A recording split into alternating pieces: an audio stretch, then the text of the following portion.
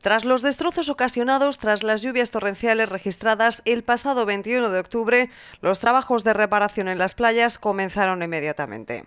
Parte de estas tareas son competencia del Gobierno central y aunque estaba previsto prestar apoyo a algunas de esas playas, los trabajos previstos se han tenido que intensificar y adelantarlos en el tiempo. Por eso, la subdelegada del Gobierno en Málaga, María Gámez, ha acudido a visitar las zonas afectadas.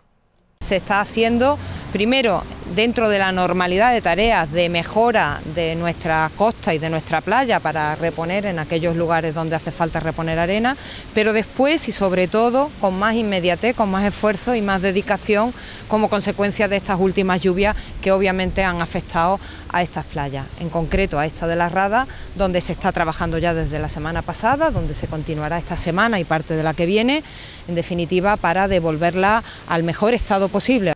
El Ayuntamiento de Estepona comenzó de manera inmediata con las labores de limpieza para despejar las zonas más afectadas y facilitar las tareas que ahora se completan.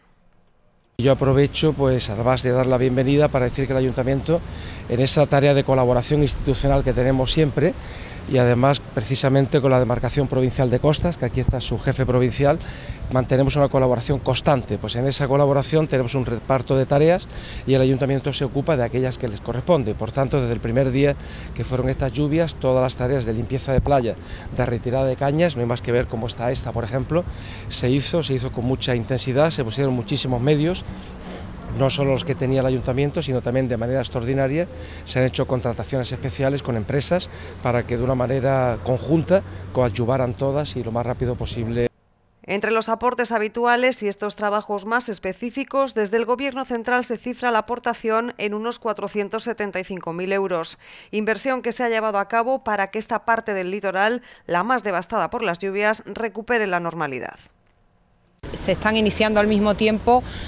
con las inclemencias del tiempo que hay que esperar a que permitan los pasos de maquinaria en las playas que, están cercanas a las playas del río Padrón, a las del río Castor y Guadalmansa. En esta se va a trabajar inmediatamente también